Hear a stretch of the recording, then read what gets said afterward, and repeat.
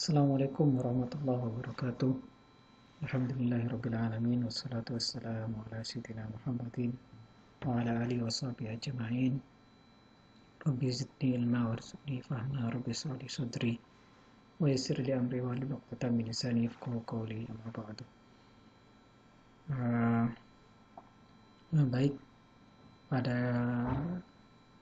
video kali ini kita akan melanjutkan topik tentang uh, reaksi redox di mana untuk pertemuan kali ini atau video ini khusus membahas tentang bagaimana reaksi suatu reaksi redox itu berjalan secara spontan atau tidak. Nah, uh, di sini ada dua gambar di mana yang sebelah kiri ini disebut dengan uh, sel galvani atau sel volta juga sama dalam sel volta ini reaksi redox itu atau reaksi kimia umumnya akan menghasilkan energi listrik sedangkan kebalikannya kalau di Eh, reaksi elektrolisis energi listrik yang menghasilkan reaksi kimia. Jadi kebalikan dari uh, sel volta. Kalau dalam sel volta ini reaksinya berjalan umumnya berjalan secara spontan, sedangkan di yang non spontan disebut dengan untuk bisa menjalankan reaksinya harus ditambah dengan uh, bantuan energi listrik sehingga disebut dengan uh, sel elektroli elektrolisis. Nah, untuk menentukan kespontanan suatu reaksi rodok, kita pertama kali uh, membahas kita mulai dari uh, persamaan Gibbs di mana ini seorang uh, ilmuwan abad ke-19an dia jika ada suatu reaksi A plus B menjadi C dan D maka energi bebas Gibbsnya ini delta G sama dengan delta G0 plus RT dan ln Q di mana Q ini adalah konsentrasi produk dibagi dengan konsentrasi reaktannya, sedangkan R tekanan gas ideal dalam satuan Joule per mol Kelvin. Nah, dari reaksi uh, persamaan Gibbs ini maka dikembangkan oleh seorang uh, ilmuwan Jerman bernama Walter Nurse di mana dia me mengembangkan persamaan Gibbs ini hubungannya dengan potensial sel. Sehingga dia uh, memperoleh persamaan delta G ini sama dengan N kali F kali potensial selnya atau jika delta G 0 maka potensial uh, standarnya N0 nya mana N ini jumlah elektron Eh, dalam uh, dalam reaksi tersebut dan F adalah konstanta Faraday. Ini ini uh, bilangannya.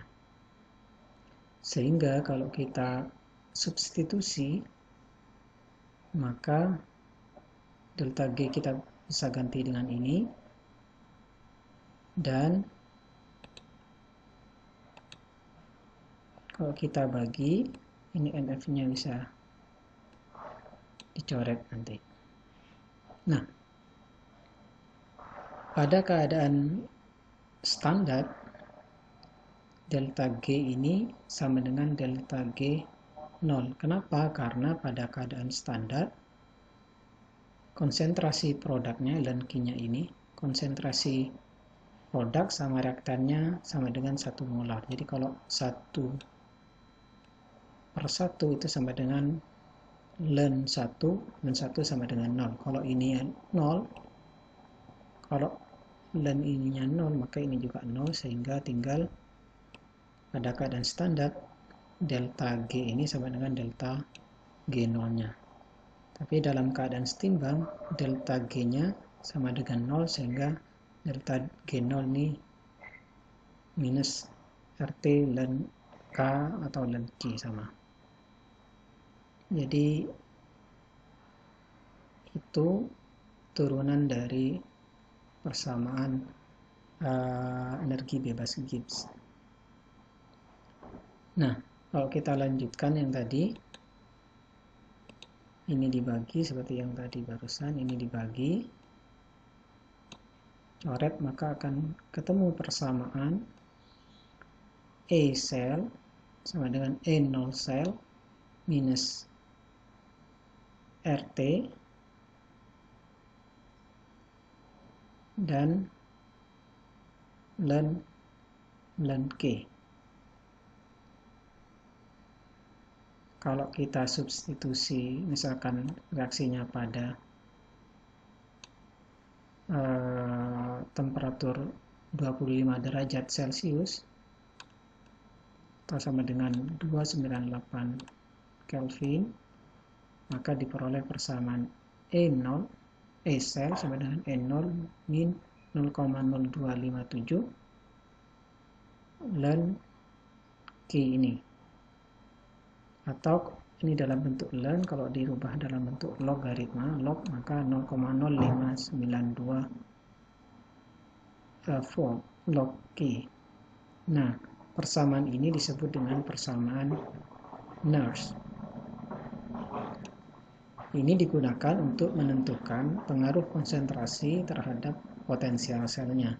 Kalau kita ingat kalau dalam keadaan standar maka kita sudah bisa peroleh uh, reaksi uh, E selnya bisa kita hitung menggunakan tabel yang sudah pernah kita bahas di pertemuan kemarin. Tapi kalau konsentrasinya, kondisinya tidak standar, seperti yang kita bahas tadi, maka ini akan sangat dipengaruhi oleh konsentrasi ataupun juga temperatur dan pressure dan segala macam. Sehingga kita menghitungnya pengaruh konsentrasinya terhadap potensial sel potensial sel itu menggunakan persamaan Nernst ini. Oh ya, RT-nya pakai yang satuan Joule mol per K ini. Joule mol kali K. Sorry. Sehingga untuk menentukan apakah suatu reaksi spontan atau tidak itu bisa kita tentukan dari nilai potensial selnya. Kalau dalam keadaan standar, nilai potensial selnya positif itu berarti dia reaksi spontan atau dalam keadaan non standar tadi dari perhitungan persamaan Nernst tadi maka uh, jika potensial selnya positif maka dia termasuk reaksi spontan maka kita lihat dari persamaan ini kalau kalau ininya E selnya positif maka energi bebas Gibbs-nya atau delta G-nya itu akan negatif atau kebalikannya. Kebalikan dari itu maka reaksi itu termasuk reaksi spontan dan non spontan jadi itu untuk menentukan suatu reaksi itu dapat berjalan spontan atau tidak apa maksudnya spontan? Spon, maksudnya reaksi bisa berjalan spontan itu reaksi itu akan berjalan tanpa bantuan uh, aliran listrik seperti tadi. Kalau non spontan, reaksi itu tidak bisa berjalan sehingga membutuhkan aliran listrik, maka disebut dengan sel elektrolisis tadi. Nah, kita lihat contohnya. Uh, di sini kita lihat hitung potensial sel galvani dari uh, reaksi ini. Ni 2 plus menjadi Ni dan Pb 2 plus jadi Pb jadi potensialnya ini kalau kita hitung keseluruhan reaksinya kita lihat mana yang lebih yang akan terjadi reduksi, mana yang lebih mudah terjadi reduksi, mana yang lebih mudah eh, yang, sulit, yang lebih sulit terjadi reduksi. Karena ini lebih besar, potensial E0 nya ini lebih besar sehingga ini lebih ke atas PB maka PB yang akan mengoksidasi Ni nya sehingga PB terjadi reduksi dan Ni terjadi reaksi oksidasi. Kalau kita hitung E0 selnya maka E reduksi minus 2, eh, 0,25 0,25 dikurangi minus eh sorry kebalik jadi minus yang reduksi ini PB minus 0,13 dikurangi minus 2,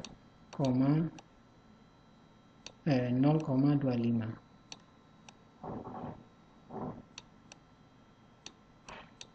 sehingga kita peroleh E0 selnya sama dengan 0,12 volt. Maka kalau kita hitung dengan persamaan nurse oh ya kita lihat dari reaksi ini maka di ini di produk Ni2 plus dikali PB yang ini PB2 plus dikali Ni karena yang dalam bentuk larutan hanya yang ada muatan ionnya ini yang ini dalam bentuk solid maka ini tidak perlu dihitung sehingga tinggal Ni2 plus per PB2 minus. Kita tahu konsentrasinya ini maka kita masukkan ke persamaan nurse tadi sehingga kita peroleh E selnya sama dengan dengan konsentrasi ini E selnya sama dengan 0,15 dan ini positif. Itu berarti reaksi ini terjadi uh, bisa berjalan dengan reaksi spontan. Kita lihat lagi contoh uh, yang kedua. Misalkan apakah reaksi ini akan terjadi spontan atau tidak pada suhu 25 derajat Celcius dan FE-nya W12 konsentrasinya sekian dan CD12 konsentrasinya sekian. Reaksinya terjadi gini Fe2 menjadi Fe CD menjadi CD2 sehingga nah tadi N nya kenapa 2 Kak yang ini. Karena di sini elektron yang terlibat ini ini dua, dua elektron melepas ataupun mendapatkan dua elektron. Sehingga ini N-nya juga dua sama. Nah, kalau kita hitung E0 selnya ini 0,04 kita masukkan ke dalam persamaan nurse maka kita peroleh E selnya sama dengan 0,013 ini positif atau lebih besar dari 0 maka dia disebut dengan uh, reaksi spontan. Nah Bagaimana kalau misalkan konsentrasinya eh E0 E E0-nya sama, E0 selnya sama, misalkan di sini apa reaksi akan terjadi secara spontan jika Ag plus 0,1 molar dan juga Ag plus 0,01 molar. Jadi persamaannya dipakai sama-sama pakai yang mengalami reaksi oksidasi sama reduksi sama-sama Ag. Sehingga endolnya akan sama.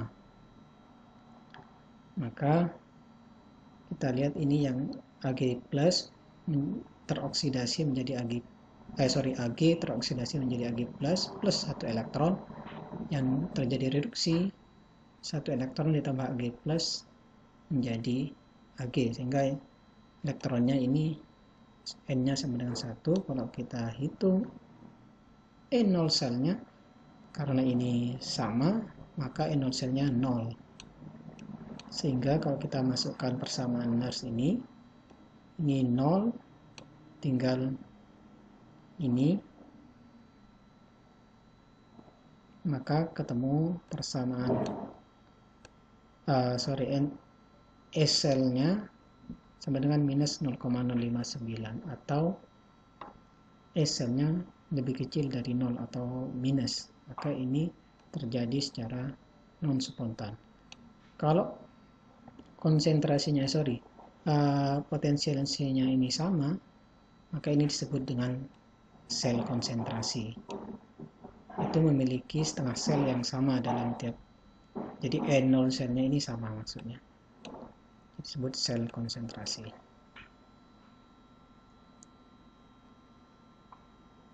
Nah kita kembali lagi ke tadi. Ini reaksi yang sebelah sini. Misalkan kita punya elektroda CD dan CU maka yang di sini E selnya ini dalam keadaan standar ini SL-nya positif ini disebut dengan reaksi spontan karena positif sedangkan di sini kalau misalkan kita balik yang di anoda adalah CD yang di sini yang di anoda CU sedangkan di katoda adalah CD-nya. Jadi kalau dibalik maka reaksi ini tidak bisa berjalan secara spontan. Sehingga ini makanya dia minus 0,74.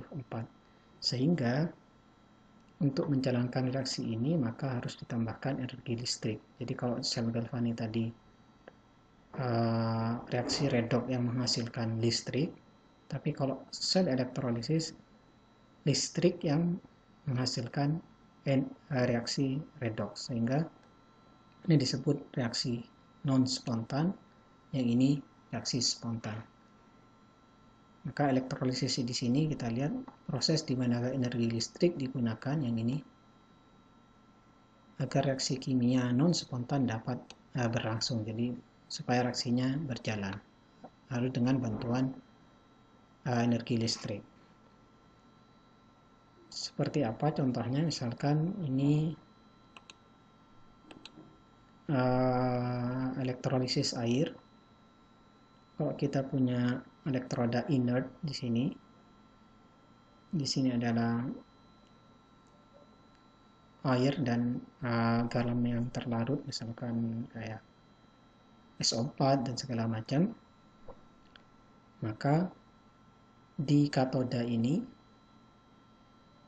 ini akan terjadi reaksi reduksi di mana H2 plus akan tereduksi menjadi gas hidrogen di sini sedangkan di anoda akan terjadi reaksi oksidasi di mana H2O-nya akan teroksidasi menjadi O2 dan 4H+. Sehingga kita bisa lihat di sini ada gas oksigen. Salah, satu aplikasinya adalah pada hidrogen generator itu adalah bahan baku hidrogen dengan menggunakan prinsip elektrolisis air ini.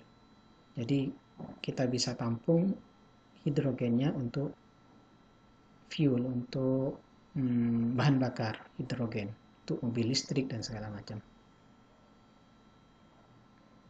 Selain itu, salah satu aplikasinya elektrolisis ini adalah seperti penyepuhan atau electroplating. Ini contohnya kalau misalnya punya kayak teko nih, di plating dengan silver. Atau sendok, misalkan kita punya sendok, kita kasih uh, di sini elektroda Ag, kita aliri uh, listrik, maka Ag yang di elektroda ini akan uh, menjadi Ag teroksidasi menjadi Ag plus larut di larutan ini dan menghasilkan satu elektron dan elektron ini ketika elektron ini ngalir di sini maka Ag plus ini akan bereaksi dengan elektron membentuk Ag di sini akan nempel terlapisi sendoknya menjadi uh, perak seperti ini. Oke, itu salah satu uh, reaksi elektrolisis, uh, uh, salah satu contoh dari elektrolisis. Saya kira cukup untuk topik kali ini. Kurang lebihnya mohon maaf. Terima kasih. Wassalamualaikum warahmatullahi wabarakatuh.